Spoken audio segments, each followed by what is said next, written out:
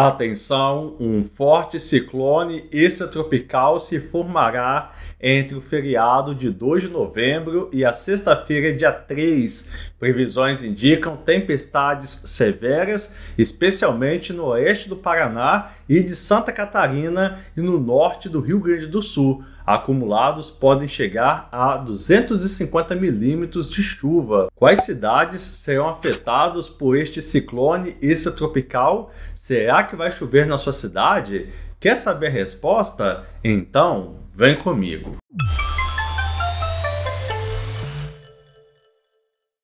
Seja bem-vindo ao canal Tudo sobre Geografia. Eu sou o professor Bruno Barros e aqui nós fazemos vídeos sobre astronomia, fenômenos da natureza e aulas de geografia. Se você tem interesse nesse tipo de assunto, já se inscreve no canal e deixa o seu like para fortalecer a nossa comunidade educativa aqui no YouTube. No vídeo de hoje vamos falar sobre a formação de um ciclone extratropical e quais serão seus impactos no Brasil.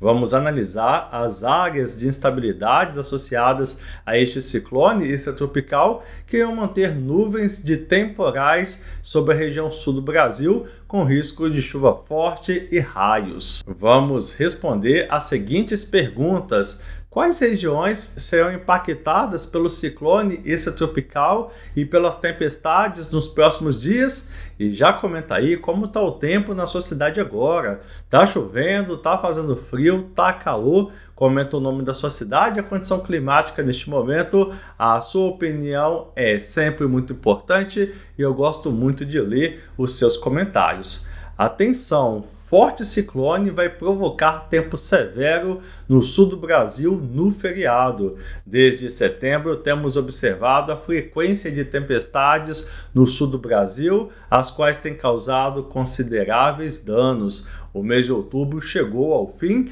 com chuvas bem acima da média em grande parte da região e agora temos um alerta de grande importância para o início de novembro. No feriado do dia de finados, dia 2 de novembro, os modelos numéricos de previsão do tempo prevêem o início de um processo de ciclogênese sobre a região sul na sexta-feira, dia 3, um novo e poderoso ciclone extratropical estará completamente formado com seu centro de atuação na costa do Rio Grande do Sul.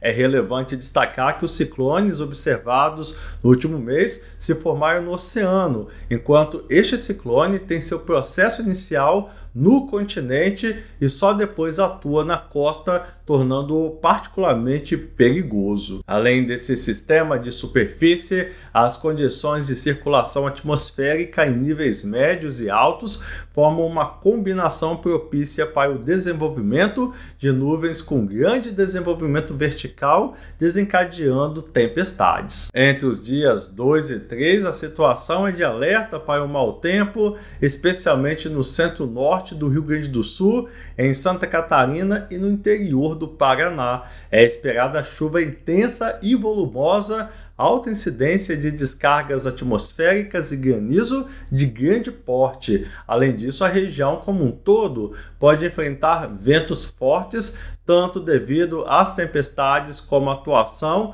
e proximidade do ciclone extratropical. Vale destacar que no litoral gaúcho os ventos serão persistentes e intensos a partir da quinta-feira, dia 2 até a madrugada de sábado, dia 4 de novembro, com a possibilidade de rajadas atingir atingirem valores em torno de 100 km por hora. Agora eu gostaria de saber a sua opinião. Você se lembra de como eram as tempestades e ciclones em sua juventude? Talvez quando você era criança? Como você descreveria as diferenças em relação ao clima de hoje? Comenta aí, em especial se você já tem mais de 40 anos de idade. Agora eu vou dar algumas dicas de segurança. Atenção! Enfrentar um ciclone extratropical é uma situação desafiadora e potencialmente perigosa. Esses sistemas climatológicos podem trazer ventos fortes, chuvas intensas e condições adversas que representam risco para a segurança das pessoas. Portanto, é essencial estar preparado e seguir algumas dicas de segurança para enfrentar essa situação com o mínimo de riscos possíveis. Monitore os boletins do tempo, fique atento às informações fornecidas por autoridades climatológicas, como por exemplo o IMET no Brasil ou serviços equivalentes em outros países. Acompanhe as atualizações sobre a trajetória, intensidade e previsão do ciclone. Tenha em mãos o telefone da Defesa Civil da sua cidade.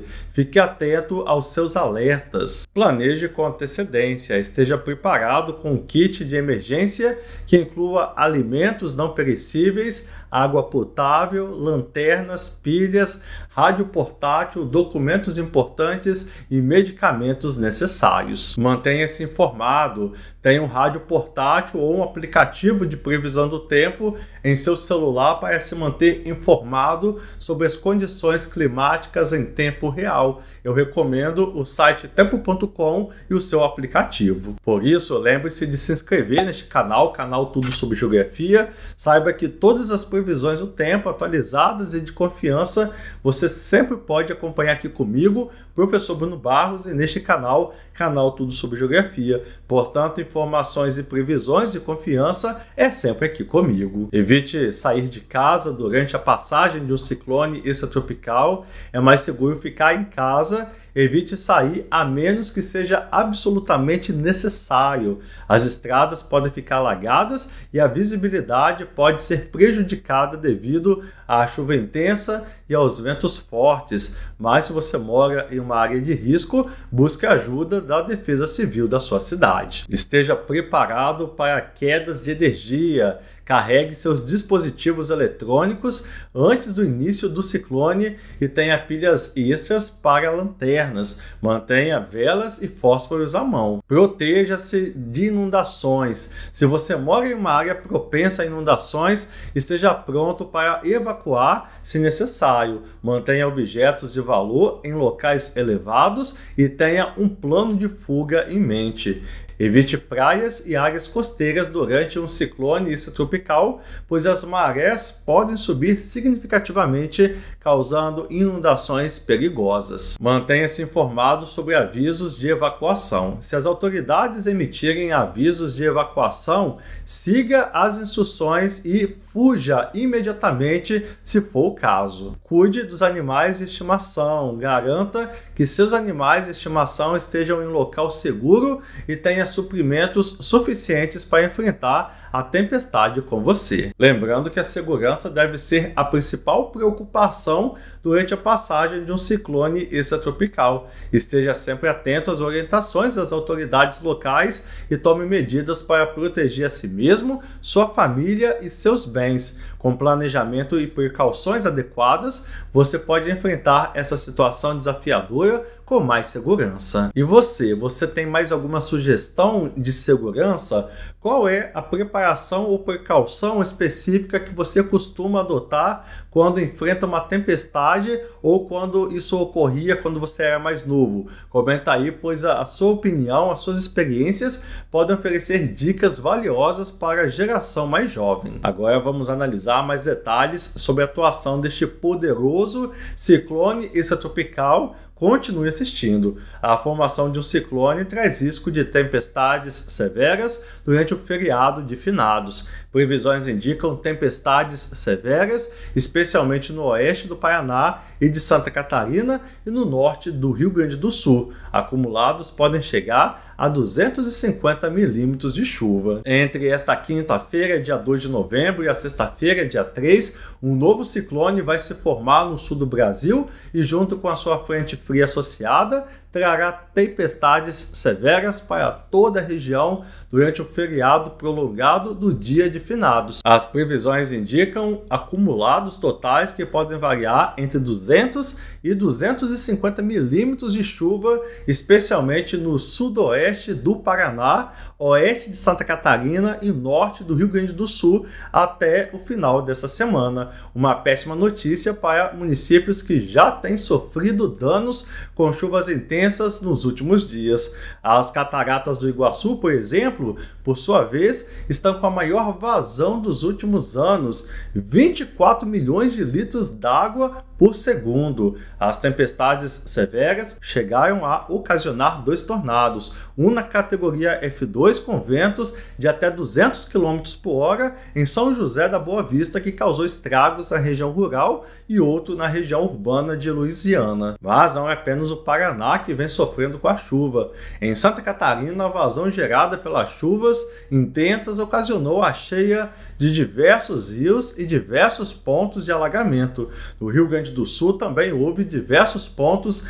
de alagamentos e pedras grandes de granizo atingiram cidades como Giruá. Com a chuva prevista para os próximos dias, tudo indica que a situação deve se agravar ao longo desta semana. Além dos grandes acumulados, há risco de rajadas fortes de vento e granizo. Além disso, não se descarta a possibilidade de novos registros de fenômenos extremos, como tornados. No geral, o ciclone vai ocasionar cortes de energia elétrica queda de árvores e de objetos altos, alagamentos, deslizamentos de terra e descargas elétricas dos três estados e alertas devem ser emitidos ao longo dos próximos dias pelo IMET. O maior número de ocorrências durante tempestades se dá devido às rajadas fortes de vento que derrubam objetos altos e às descargas elétricas que são atraídas por eles. Caso seu município seja atingido por tempestades, evite se abrigar debaixo de árvores e coberturas pequenas, como quiosques. Também evite áreas próximas a portes de energia, torres de transmissão elétrica e objetos altos como placas e letreiros. E atenção, temos mais alertas para o restante do Brasil.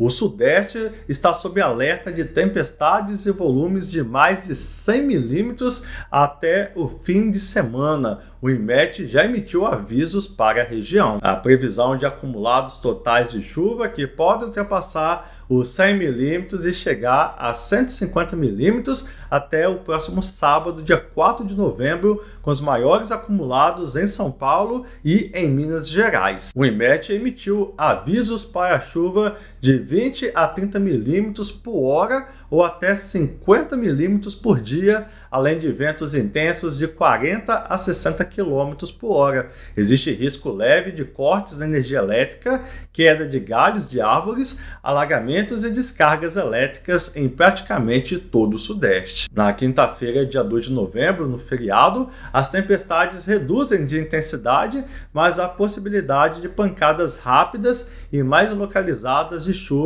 em todo o Sudeste. A formação do ciclone tropical que estamos falando no sul do Brasil, no entanto, vai fazer a situação piorar nos dias seguintes. Entre sexta-feira, dia 3 e sábado, dia 4, o sistema causará chuvas muito intensas, especialmente em São Paulo, e avançará para causar tempestades também em Minas Gerais Rio de Janeiro e Espírito Santo. Isso significa que o feriado prolongado do Dia de Finados será marcado por tempestades fortes. Em resumo, esta semana será chuvosa em praticamente todo o Sudeste, não há previsão de dias secos. As tempestades podem causar até 150 milímetros de chuva e diversos transtornos, especialmente em áreas urbanas. O que fazer caso a sua cidade seja atingida por uma tempestade?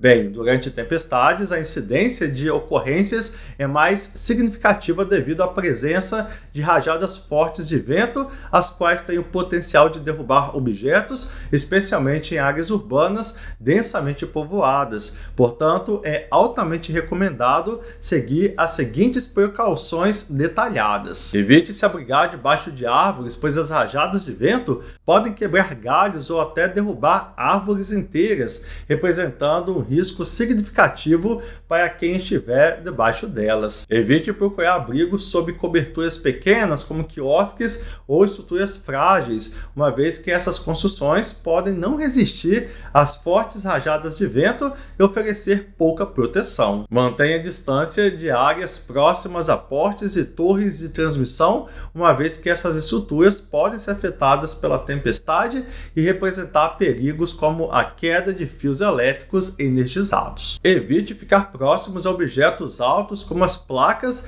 de sinalização e letreiros, já que o vento forte pode deslocá-los e causar sérios danos a pessoas e propriedades. Seguir essas orientações detalhadas ajudará a reduzir o risco de acidentes durante tempestades, garantindo a segurança pessoal e de outros indivíduos em áreas urbanas. Além do risco de queda, há outro problema grave: as descargas elétricas. Isso significa que, caso você esteja próximo a árvores, quiosques, torres de transmissão elétrica ou objetos altos durante uma tempestade, você pode acabar sendo atingido por um raio. Por isso, evite essas situações ao máximo. Muito bem, hoje você viu aqui sobre a formação de um novo e forte ciclone tropical que vai trazer tempo severo e muita chuva para a região sul do Brasil nos próximos dias. Agora me diz como está o tempo aí na sua cidade agora. Tá chovendo, tá fazendo frio, tá calor? Comenta o nome da sua cidade, a condição climática nesse momento.